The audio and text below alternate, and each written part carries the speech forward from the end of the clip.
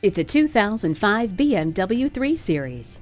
This 3 Series has rain sensing wipers, driver and passenger front airbags, front side airbags, stability and traction control, and four wheel anti lock brakes.